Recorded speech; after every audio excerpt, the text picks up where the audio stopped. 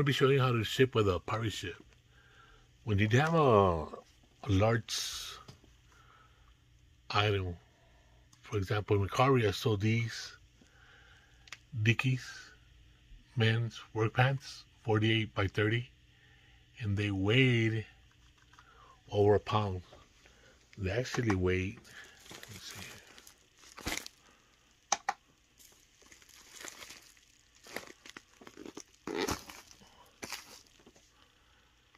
one pound five ounces. But I put one pound six ounces.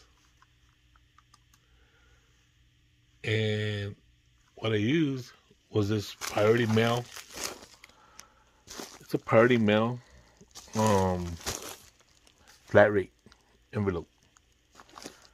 And with this it comes out cheaper.